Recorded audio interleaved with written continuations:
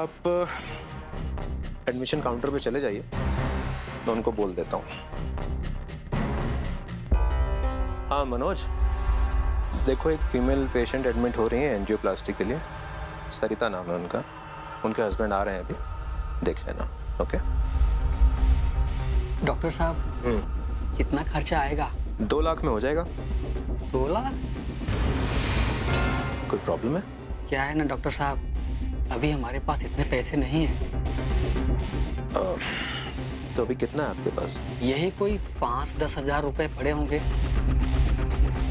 अच्छा अच्छा कोई बात नहीं। अब चिंता मत कीजिए अभी जो है वो जमा करवा दीजिए। मैं हूँ ना हुँ?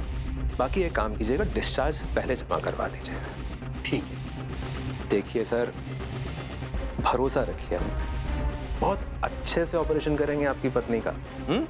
बिल्कुल मत घबराइए आप। देखिए, मैं आपको समझाता हूँ, बड़ी सिंपल सी चीज़ होती है। ये आप नसें देख रहे हैं। इन नसों में खून बहता है, या आपके पूरे शरीर में घूमता है। इन नसों के बीच में फैट जमा हो जाता है, जैसा आपकी पत्नी के साथ हुआ हम क्या करेंगे? एक छोटा सा स्प्रिंग जैसी एक चीज़ है, बहुत बढ़िया फाइन मटेरियल की होती है, वो उसमें हम लगाएँगे, उससे वो नसें खुली रहेंगी। ये जो स्प्रिंग है ना, ये दो तरह का आती है, एक विदेशी और एक देशी। विदेशी वाली बहुत फाइन मटेरियल की होती है बहुत बढ़िया क्वालिटी की होती है और बहुत लंबे समय तक चलती है। थोड़ी महँगी ज़रूर होती है। ठीक है डॉक्टर साहब। अब पैसा खर्चा हो रहा है तो हम विदेशी वाला लगवाएँगे। तो विदेशी वाला ही दो लाख का है ना? जी। डॉक्टर साहब इसके बाद तो कोई तकलीफ़ नहीं होगी ना?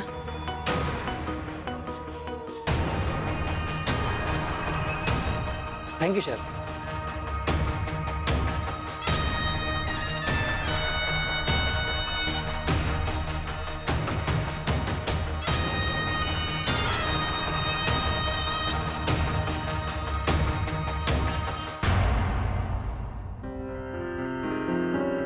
ओ, भाई साहब एडमिशन काउंटर किधर है? थैंक यू अरे भूपेंद्र जी। अरे संतोष आप इस हॉस्पिटल में सर्विस करते हैं? हाँ भूपेंद्र जी। अच्छा हुआ आप मिल गए। अच्छा ये बताओ यहाँ कैसे आना हुआ? क्या बताएँ संतोष भाई मिसेस की तबीयत कुछ खराब हो गई थी। दरअसल सब कुछ ठीक था उनका दिल घबराता था। तो मैंने दिमाग के डॉक्टर को दिखाया और उन्होंने बोला कि हार्ट चेक करा लीजिए। मैंने हार्ट चेक करवाया। बोली एंजियोग्राफी करा लो। एंजियोग्राफी भी करवा लिया। तो उसकी रिपोर्ट में अब बता रहे हैं कि ब्लॉकेज है। उसके लिए ऑपरेशन करना होगा। कौन से डॉक्टर को दिखाया? डॉक्टर कमल को। अच्छा एक काम करो। मैं एक बार एक और डॉक्टर को दिखवा देता हूँ। वो हमको मानती है। अगर सच में ऑपरेशन की ज़रूरत हुई तो हमको वो बता देंगे। बहुत बड़ी मेहरबानी होगी संतोष भाई।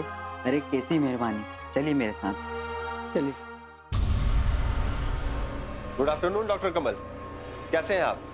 Good afternoon Sharad ji. भाई क्या बात है? आज तो फाइनेंस वाले खुद चल कर आए तो यहाँ तो कोई बहुत अच्छी बात होगी या बहुत बुरी? अरे नहीं नहीं सब ठीक है सब अच्छी बात है। बस आप ऐसे ही लगे रहिए। आप ही से तो उम्मीद है। आई नो बड़ा अनफॉर्चुनेट रहा। खैर इन सब केसेस में होता ही क्या है यार? बेल पे बाहर आ जाएँगे। वो सब तो ठीक है लेकिन नुकसान तो हो गया ना यार। कोई बात नहीं यार। नई शुरुआत करते हैं ना। पिंटू बाबू भले ही कस्टडी में हो। उनके गुर्गे तो एक्टिव रहते हैं ना। आपका पेशेंट फ्लो कम नहीं होगा शरद जी। हाँ सब कुछ इतना स्मूथली चल रहा था लेकिन लड़की ने सब खेल खराब कर दिया। कौन सी लड़की? भाई हमारी रोशनी। हम्म डॉक्टर रोशनी। अब तक नाम ही सुना है मुलाकात कभी नहीं हुई। अच्छा है नहीं हुई। सिर्फ़ ये लड़की है। ना ही टकराया तो बेहतर है। शरद जी टकराने का मज़ा तो सर्फिकों से ही आता है ना। चलिए अच्छा है। लेकिन ध्यान रखिएगा टकराइए तो धक्का सिर्फ़ आपको ही लगे मैनेजमेंट को नहीं।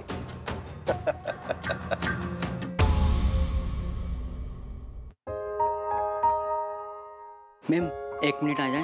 हाँ संतोष आओ। मैम एक केस है मेरे जानने वाले हैं। वो एंजियोप्लास्टी बुलाए करवाने के लिए उनकी वाइफ को डॉक्टर कमल ने। तो जी आपसे एक रिक्वेस्ट थी एक बार देख लेते तो। हाँ ठीक है भेज दो अंदर।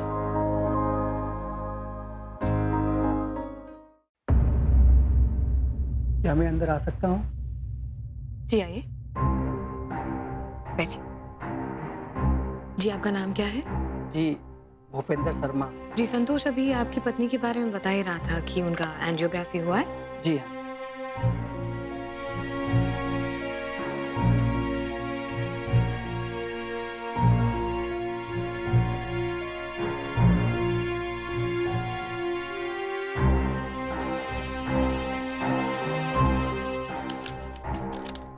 अभी आपने एडमिशन तो नहीं कराया है ना ऑपरेशन के लिए?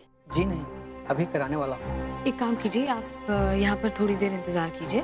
मुझे लगता है ऑपरेशन की ज़रूरत नहीं पड़ेगी शायद। जी जी। लेकिन मैं एक बार फिर भी डॉक्टर कमल से बात कर लेती हूँ। ठीक है।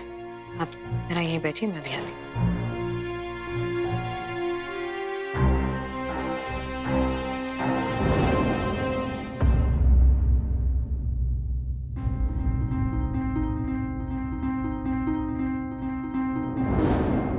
Doctor Kamal I am doctor Roshni.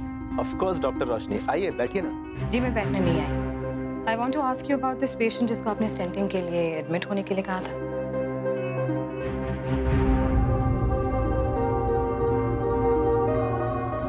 हाँ तो प्रॉब्लम क्या है? प्रॉब्लम ये है डॉक्टर कमल कि आप एक पेशेंट को बेवकूफ़ बना सकते हैं लेकिन एक डॉक्टर को नहीं। बीस परसेंट ब्लॉकेज पर भी आप एंजियोप्लास्टी कर रहे हैं। ये जानते हुए भी कि पेशेंट मेडिसिन से ठीक हो सकता है। ठीक हो सकता है लेकिन लेकिन आपके पैसे कैसे बनेंगे? हॉस्पिटल बीस हज़ार का स्टेंट नब्बे हज़ार में कैसे लगा सकेगा? आपका कमीशन कैसे बन सकेगा? लेकिन रोशनी रजत और मोना से बात करने के बाद ही शरद तुम इसमें कुछ ना ही बोलो तो बेहतर है। डॉक्टर कमल आप मैनेजमेंट की आड़ में ये खेल खेलना बंद कीजिए। स्टेंट की प्राइसिंग पर मैं कुछ नहीं कह सकती। वो रजत का कॉल है। लेकिन इसका एक्सक्यूज देकर अगर मेडिकल एथिक्स को लीला हॉस्पिटल में कॉम्प्रोमाइज किया जा रहा है तो ऐसे किसी भी आदमी को मैं इस हॉस्पिटल में नहीं रहने दूँगी। Is that a warning yes that's a ward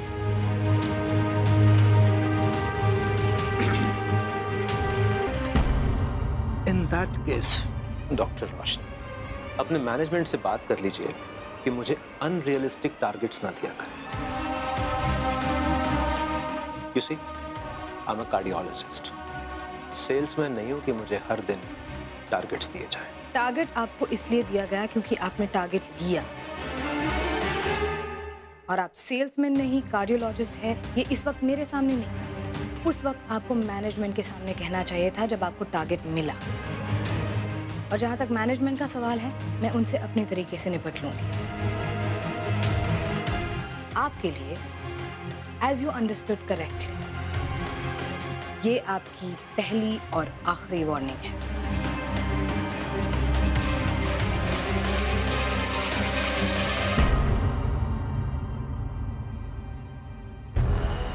मैंने कहा था ना आपसे, आपको ही टकराने का मज़ा लेना था।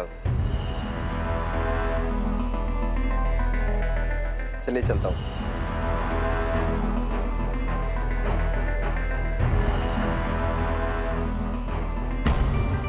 मोना इस बार की क्वार्टरली शीट अच्छी लग रही है।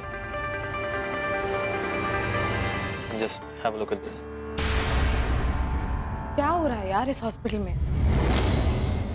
मोना तुम्हारे दिए हुए टारगेट्स को अचीव करने का बहाना बनाकर यहाँ पेशेंट्स को बेवकूफ़ बनाया जा रहा है। रोशनी इतना एक्सट्रीम स्टेटमेंट देने की कोई वजह? स्टेटमेंट एक्सट्रीम नहीं है मोना। चीज़ें हद से बाहर हो रही है यहाँ पर।